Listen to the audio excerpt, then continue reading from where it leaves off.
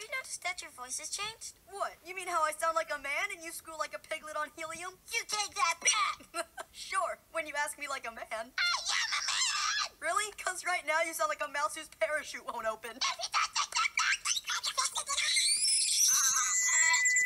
You have won this antique crystal decanter worth over 10,000...